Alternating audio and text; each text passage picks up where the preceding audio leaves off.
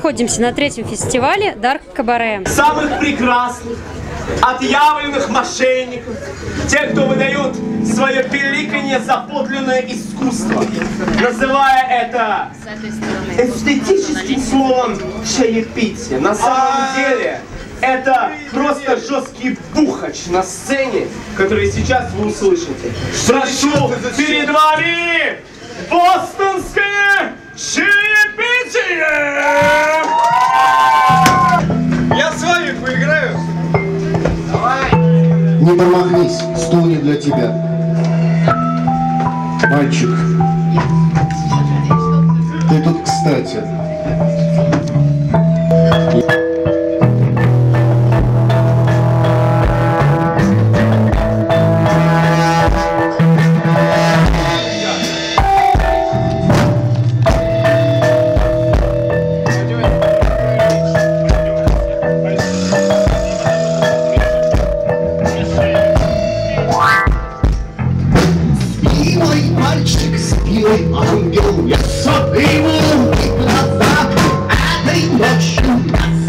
Что создал хитовый Ложный море с дорожки, молчи Осторожно, тихо разложил тетрадь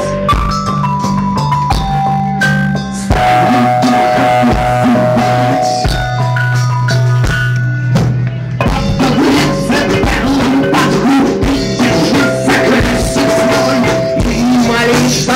называть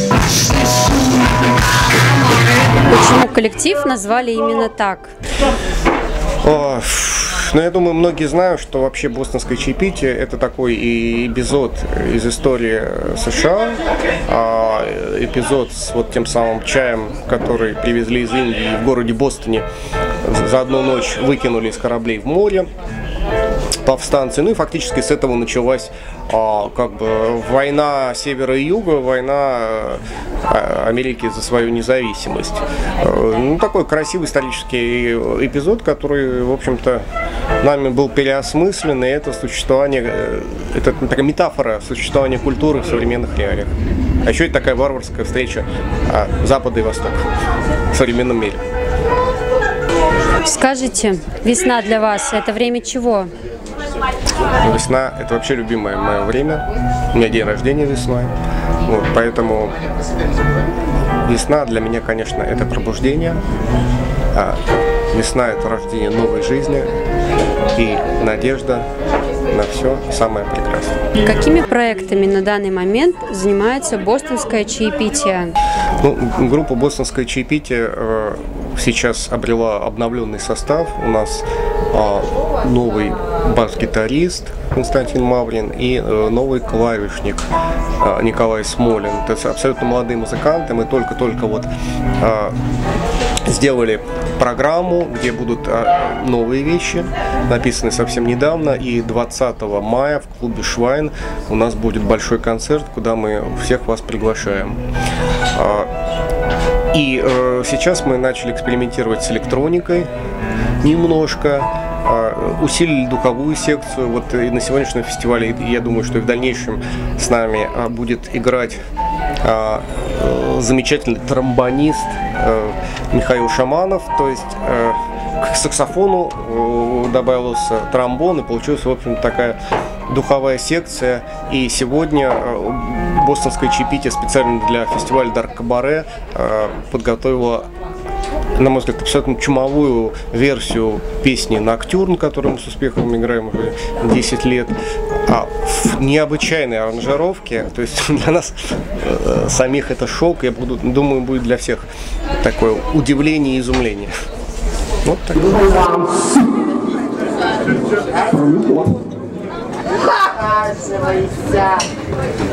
До твоей крыльца не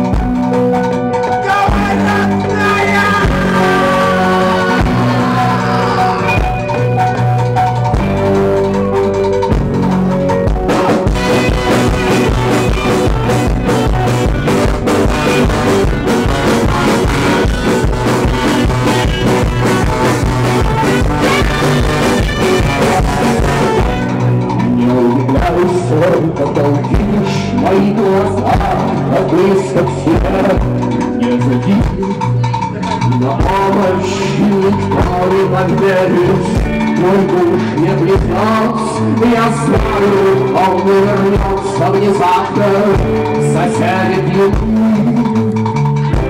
и все равно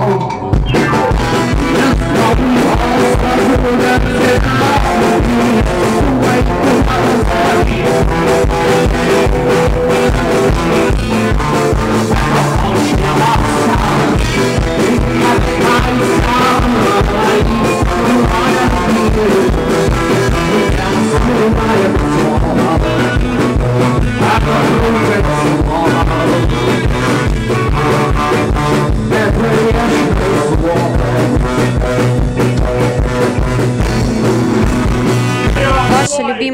песня из репертуара группы?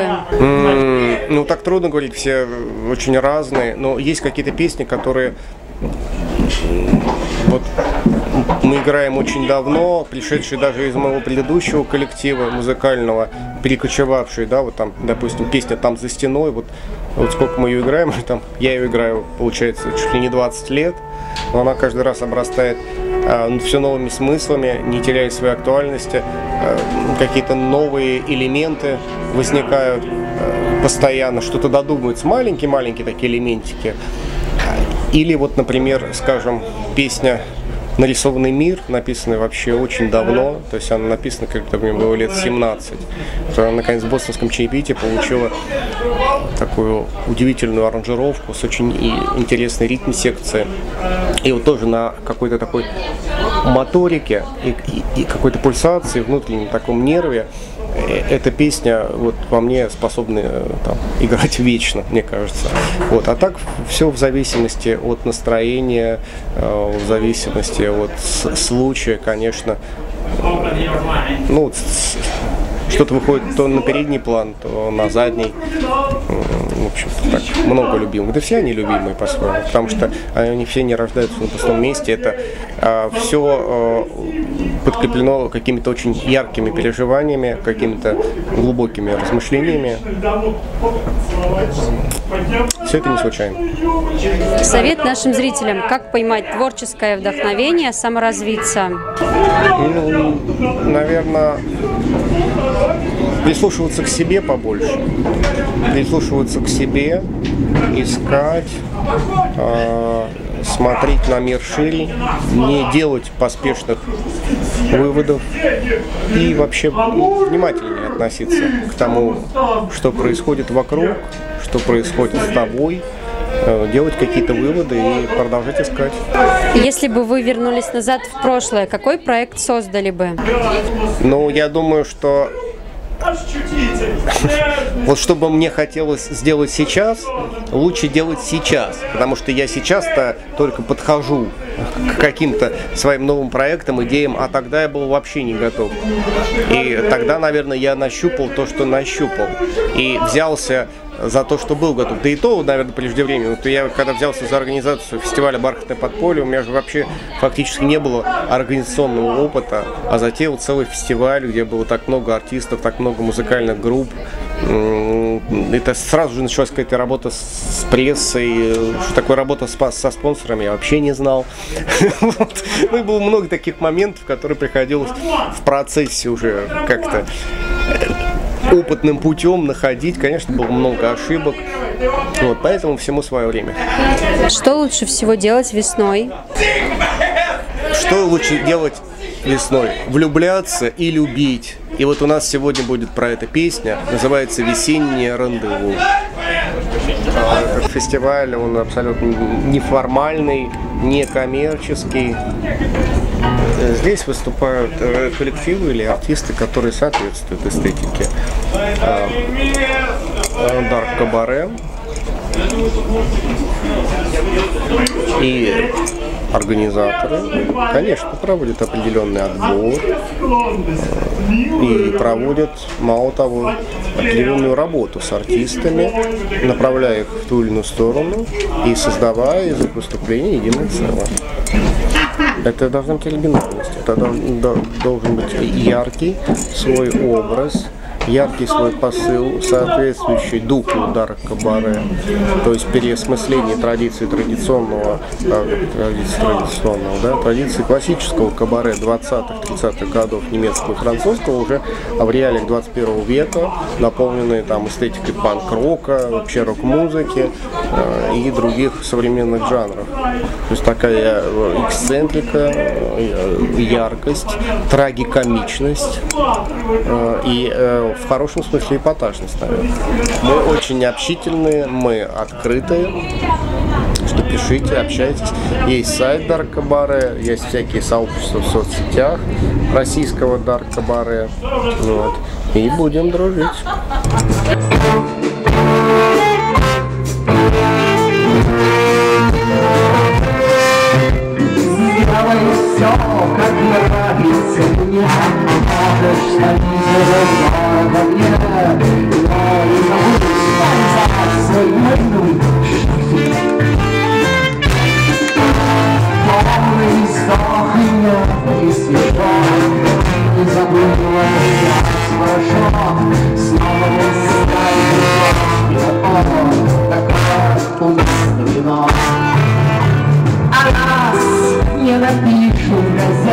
Газетах, не скажут в новостях CNN.